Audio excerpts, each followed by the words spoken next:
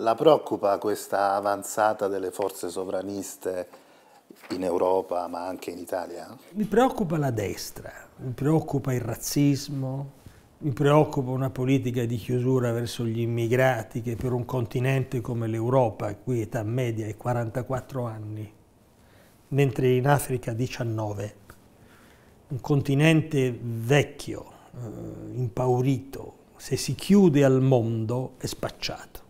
Questa è la verità. Però se noi vogliamo vincere questa sfida dobbiamo saper cogliere un aspetto, cioè eh, dov'è l'elemento di verità del sovranismo?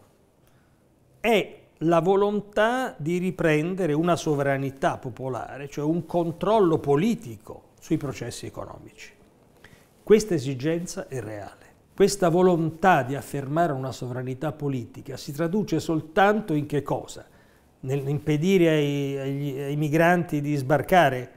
E questo è il dominio della politica, cioè nella ferocia contro i poveri, mentre invece il sovranismo è impotente di fronte ai grandi gruppi finanziari internazionali, di fronte ai, grandi monopoli dell'informazione, della rete, eccetera, che sono dominanti e che si possono affrontare soltanto rafforzando l'Europa. A proposito di sovranismo, come lei sa, il governo italiano ha concesso alla fondazione di Steve Bannon un bene nazionale, che è questa splendida certosa di Trisulti nel Frusinate.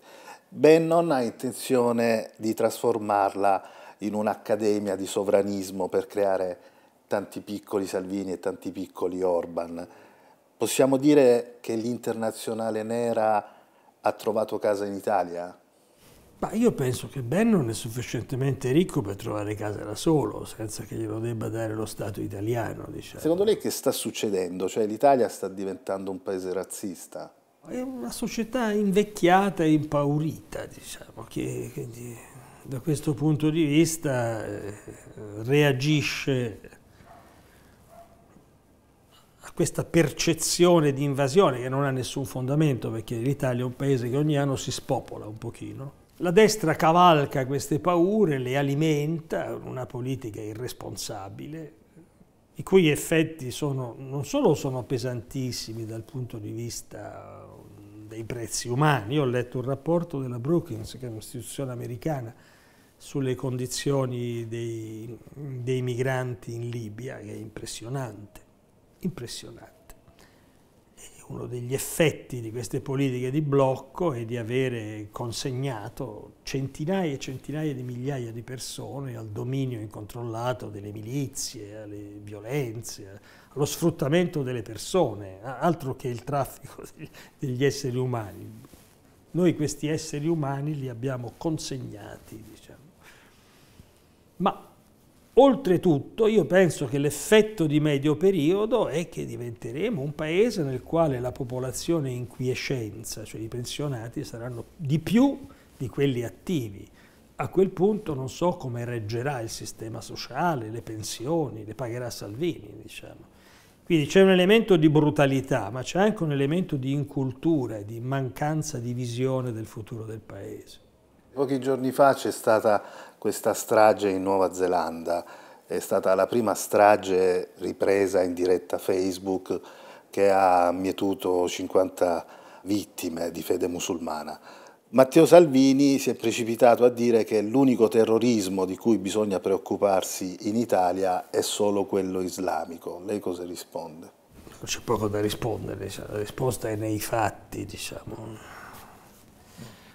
L'unica cosa veramente stupefacente è che una personalità rozza, diciamo, e come Salvini possa godere di una qualche popolarità in un paese civile come l'Italia. Come servizio pubblico abbiamo eseguito una ricerca dalla quale è emerso che le parole d'ordine usate dal terrorista neozelandese sono le stesse o comunque molto simili a quelle usate dalla destra sovranista italiana, rappresentata appunto da Salvini e Meloni.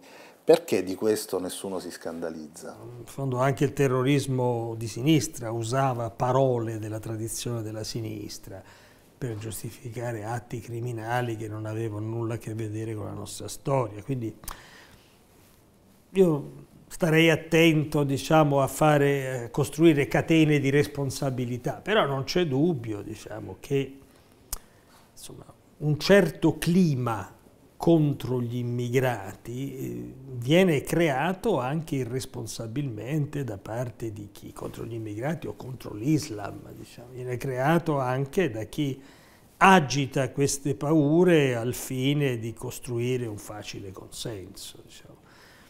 La convivenza con gli altri è sempre qualcosa di molto complesso, di molto delicato, richiederebbe alla politica, a tutti i settori della politica, una particolare responsabilità. E poi anche il cosiddetto terrorismo islamico ha mietuto le sue vittime molto nel mondo musulmano stesso. Il mondo musulmano è eh, soprattutto vittima, questa è la verità, meno stando ai numeri, stando ai fatti, diciamo, e viene raffigurato invece come una minaccia.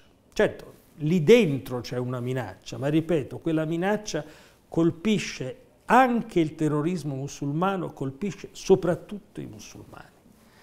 E questo dovrebbe aiutarci forse ad avere un atteggiamento diverso verso questo mondo, cioè a capire che dobbiamo combattere insieme i germi della violenza, dell'intolleranza, ovunque essi si manifestino.